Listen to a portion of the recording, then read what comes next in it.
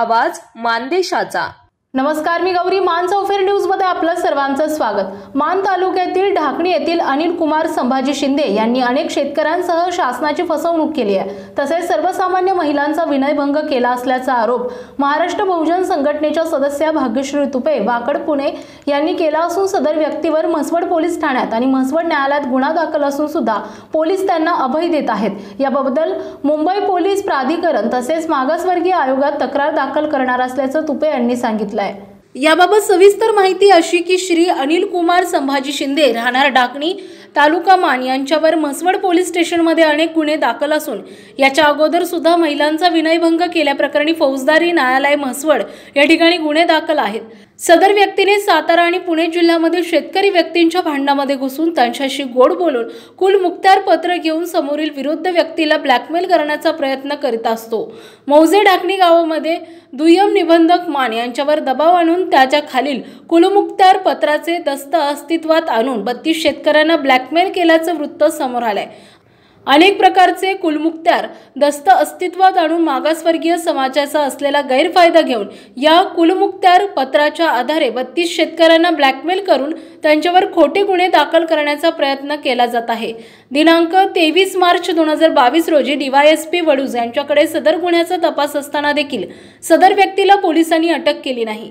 काही शेतकऱ्यांच्यावर तहसीलदार यांच्याकडे एकशे पंचेचाळीसनुसार प्रस्ताव पाठवून शेतकऱ्यांची पिळवणूक करणारा हा इसम तहसीलदार यांचा दिनांक तेवीस मार्च दोन हजार बावीस रोजी तालुक्यात स्थळ पाहणी दौरा असताना देखील फरार आरोपी तेथे हजर होऊन शेतकऱ्यावर दबाव आणल्याचं चित्र समोर आलंय.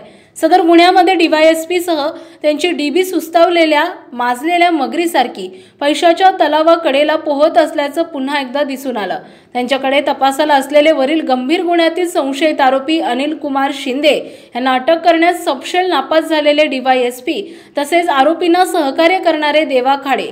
Police constable Anil Sawant police constable यांचा राकेटचा पर्दाफाश करून यांच्या नाकावर टिचून म्हसवड पोलीस स्टेशनचे प्रामाणिक जिगरबाज सहाय्यक पोलीस निरीक्षक यांनी सदर आरोपीतील तेवीस मार्च दोन हजार बावीस रोजी अटक केली आहे. परंतु वरील रॅकेटने सदर आरोपीला कोर्टात न हजर करता चार तासाच्या आत बाहेर सोडले. पी एस आय भंडारे यांनी सदर फिर्यादीस आरोपी म्हसवड पोलीस स्टेशनमध्ये अटक केलेली माहिती अधिकाराखाली माहिती मागवली असता माहिती देण्यास नकार दिला. DYSP in charge officer P S I Bhandare तसेच सदर कॉन्स्टेबल यांची कसून चौकशी व्हावी? त्या मे अतिरिक्त सत्र न्यायालय वडूज यांनी सदर आरोपी अनिल कुमार संभाजी शिंदे याचा जामीन अर्ज फेटाळला असून सध्या आरोपी तालुक्यात खुशाल फिरत आहेत.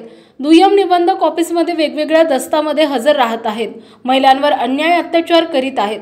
सदर पोलीस अधिकारी तसेच आरोपी यांच्यावर महाराष्ट्र बहुजन सेना यांच्यातर्फे महिला आयोगात तसेच मुंबई पोलीस प्राधिकरण तसेच मागासवर्गीय आयोगात तक्रार करण्यात येणार असल्याची माहिती महाराष्ट्र बहुजन संघटनेच्या सदस्या भाग्यश्री तुपे यांनी दिली आहे.